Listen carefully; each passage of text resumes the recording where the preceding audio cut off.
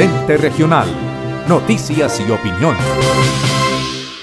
¿Qué tal? Un cordial saludo a nuestros seguidores del ente regional. La Defensoría Nacional del Pueblo ha lanzado dos programas que están relacionados con Defensor a la Mano y Jóvenes por sus Derechos. Doctor Henry Calderón, Defensor Regional del Pueblo, hablemos un poco de estas iniciativas y en qué consisten.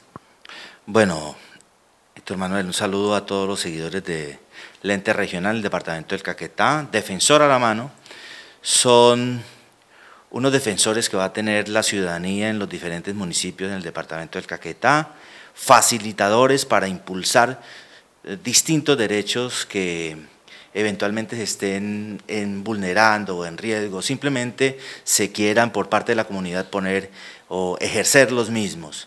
Ellos van a estar en, recorriendo los municipios, las veredas, eh, consiste en un orientador jurídico y en un psicólogo para hacer una atención integral. Jóvenes por sus derechos Van a ser unos jóvenes que van a estar en el departamento del Caquetá mayoritariamente impulsando o acompañando eh, los consejos de juventud municipales eh, que se van a realizar el próximo 5 de diciembre del presente año y así como también hacer unas acciones muy puntuales en el departamento como salidas a terreno, impulso e incidencia en temas ambientales, eh, tal vez eh, algunas otras acciones muy puntuales que vamos a realizar y vamos a coordinar con ellos para llevarlos también, que orienten a los jóvenes, a nuestros jóvenes en el, en el territorio, en el departamento del Caquetá. ¿A partir de cuándo ya se comienza a trabajar con estos dos programas? Ya estamos eh, trabajando,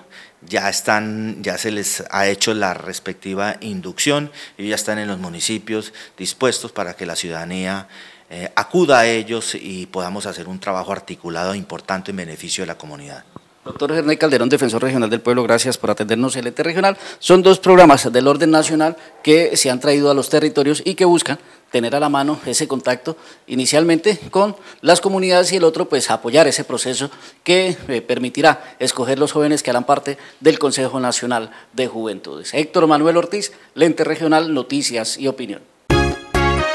Caja de Compensación Familiar de Caquetá con FACA entrega su portafolio de servicios en créditos, agencia de viajes y turismo, colegio, biblioteca, subsidio familiar, recreación y deportes, educación informal, programa de salud y nutrición, programas especiales en inclusión social, cultura por el desarrollo infantil integral, centro recreacional La Manigua, tarjeta multiservicios, agencia de empleo, droguería y autoservicio express. Todos estos servicios están encaminados a mejorar la calidad de vida de los afiliados a CONFACA. Paca.